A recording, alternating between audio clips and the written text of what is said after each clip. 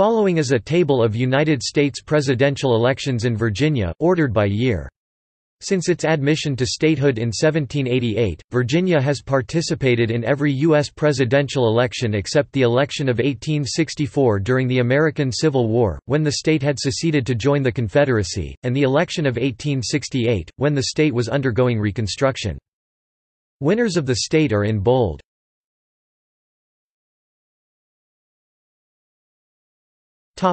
Elections from 1864 to present.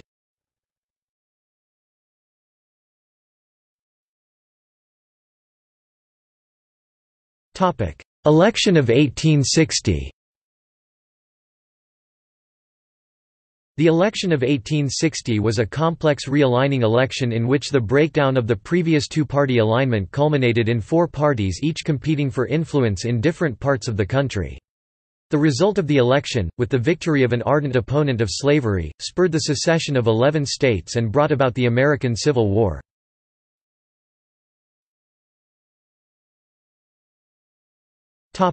Elections from 1828 to 1856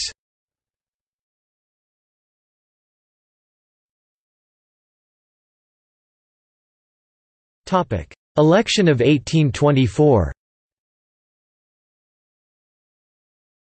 The election of 1824 was a complex realigning election following the collapse of the prevailing Democratic-Republican Party, resulting in four different candidates each claiming to carry the banner of the party, and competing for influence in different parts of the country.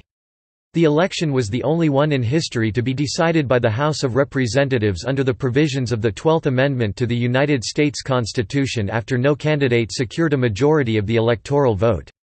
It was also the only presidential election in which the candidate who received a plurality of electoral votes Andrew Jackson did not become president, a source of great bitterness for Jackson and his supporters, who proclaimed the election of Adams a corrupt bargain.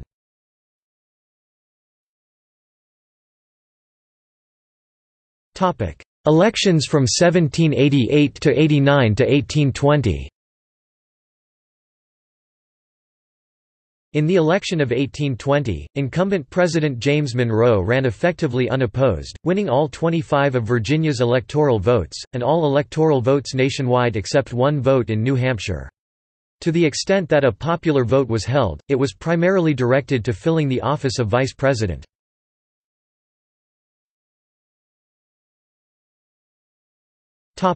Notes